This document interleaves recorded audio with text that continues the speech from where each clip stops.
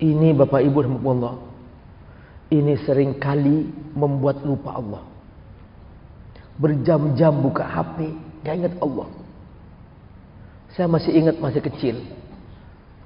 Buyut saya, setiap saya pulang dari sekolah, dia duduk, nunduk, baca Quran. Nenek saya nunduk, baca Quran. Kakek saya nunduk, baca Quran. Emak saya nunduk, baca Quran. Sampai sekarang, emak saya itu setiap tiga hari hatam Quran. Sampai sekarang. Nah, saya ingin menggambarkan situasi sekarang. Sekarang banyak orang nunduk, lihat HP. Berjam-jam Bapak Ibu rahmatullah. Ini yang membuat terputus dari Allah Subhanahu taala. Makanya tiba-tiba seseorang hatinya hampa. Tiba-tiba jiwanya kosong. Stres, blank. Kenapa? Karena tidak ingat Allah Subhanahu wa taala. Yang kedua, karena tidak menyebut nama Allah. Para ulama bertahun-tahun ingin membantu umat Islam sepanjang sejarah supaya jangan sampai ada hamba Allah yang blank. Jangan sampai ada hamba Allah yang hang. Jangan sampai ada hamba Allah yang stres. Kalau orang tidak beriman, memang mereka disconnect dari Allah. Nggak ada hubungannya dengan Allah. Mereka kerja sesuka nafsu mereka.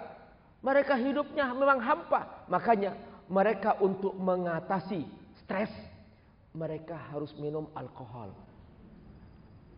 80% masyarakat di barat mereka pecandu alkohol. Gak bisa hidup tanpa alkohol. Di mana saja hadiah untuk temannya alkohol.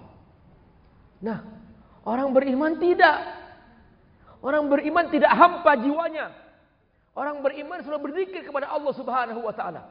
Makanya Dikir-dikir Nabi itu setelah dikumpulkan oleh para ulama dan yang berhasil sangat populer bukunya adalah Imam An-Nawawi.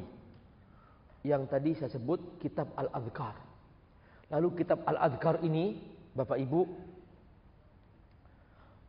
dulu belum ada fotokopi. Maka ketika orang pinjem, dia hafalkan sehari semalam, dihafal. Dulu oleh Allah orang-orang dahulu dikasih kekuatan menghafal. Sekali melihat dia langsung hafal. Buka sebelahnya hafal.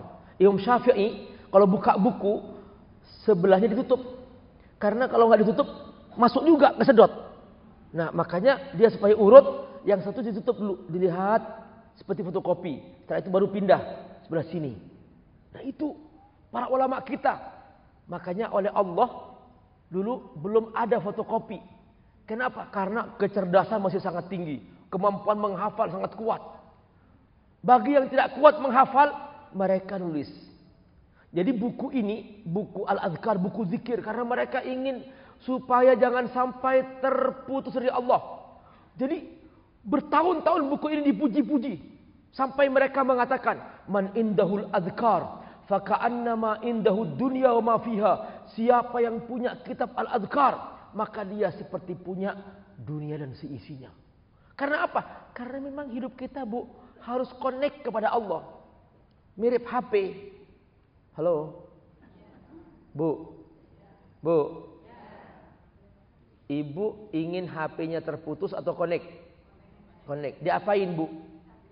Dicas. Itu untuk power. Terus kemudian setelah itu diisi diisi pulsa. Nah, pulsa itu dikir bu. Jadi kalau bagi kita pulsa kita itu dikir supaya kita connect kepada Allah. Nah, kalau kita disconnect dari Allah, sudah hanya tinggal bentuknya manusia. Tapi isinya bukan manusia lagi. لهم قلوب لا يفقهون بها ولهم أعين لا يبصرون بها ولهم آذان لا يسمعون بها أولئك كالأنعام بل هم أضل أولئك هم الغافلون ketika seorang terputus dari Allah hatinya disconnect, tidak berfungsi. Matanya disconnect, yang dilihat bukan kebesaran Allah, yang dilihat maksiat dan dosa-dosa. Telinganya disconnect. Yang dia dengar bukan ayat-ayat Allah. Yang dia dengar adalah maksiat dan dosa-dosa. Ya Allah. Bapak Ibu. Akhirnya apa? Kata Allah, kal an'am. Dia turun derajat menjadi binatang. Coba lihat. Kucing, ya. Bu. Kucing? Tahu? Ya. Apa pekerjaan kucing? Tidur, bangun, cari makan, makan, bikin anak. Tidur, bangun, cari makan, makan, bikin anak. Betul? Betul nggak? Ya. Nah, ada nggak kucingnya? Pak Ustadz, ya. Kucing saya baca Quran, Pak Ustadz. Ada? Gak ada. Kucing saya sholat, Pak Ustadz. Gak ada. Belum pernah seumur hidup saya ada orang tiba-tiba datang, Pak Ustadz, Tolong isi pengajian kucing-kucing saya Pak Ustaz. Enggak pernah. Jadi pekerjaannya apa? Tidur, bangun, cari makan, makan, bikin anak. Perhatikan, ketika seseorang hidup tanpa Allah, hidup tidak ikut Allah, pekerjaannya sama. Tidur, bangun, cari makan, makan, bikin anak. Tidur, bangun, cari makan, makan, bikin anak. Sholat? Enggak. Baca Quran? Enggak. Enggak ada. Halo? Ini yang kata Allah, ulaika kal an'am. Mereka menjadi seperti binatang. Pak Ustadz, kalau manusia jadi binatang gimana Pak Ustadz? Allah menjawab, balhum adol. Ketika manusia jadi binatang, maka dia akan berbuat melebihi binatang. Ini yang berbahaya Bapak Ibu Allah. Kalau Bapak Ibu melihat ada dua kucing jantan bertemu mesraan atau tarung? Hah? Tarung. Dua kambing jantan ketemu, mesra atau tarung? Tarung. Nah ini enggak ada manusia laki sama laki menikah. Ya Allah. Sama ketemu jenggotan menikah. Ya Allah. Ini kan lucu. Kata Allah, balhum abul. Kalau manusia bejat, manusia diskonik dari Allah, dia akan lebih sesat daripada binatang, rusak, benar. Siapa yang kucingnya pernah mencuri uang? Gak pernah. Bertahun-tahun kucing itu keluar masuk rumah kita. Dia tidak pernah berinovasi. Mau curi uang. Gak pernah. Dia hanya tetap mencuri sekedar daging. Itu aja. Ini enggak. Kalau manusia bejat. 7 triliun hilang bu, betul? Hilang gak ketahuan jejaknya ke mana.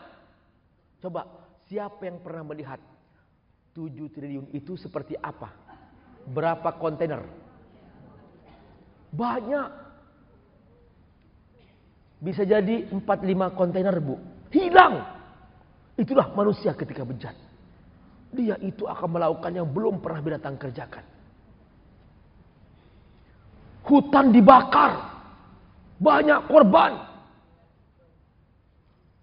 Sejahat-jahat harimau. Dia hanya mungkin makan dua tiga mangsa. Ini enggak. Berapa korban nyawa di Wamina. Berapa korban nyawa di Palestina. Berapa korban nyawa di Syria. Di Rohingya. Dibakar. Itulah manusia ketika bejat. Makanya Allah kawal nih manusia jangan sampai salah jalan. Karena kalau sudah salah jalan, bahayanya berat manusia ini.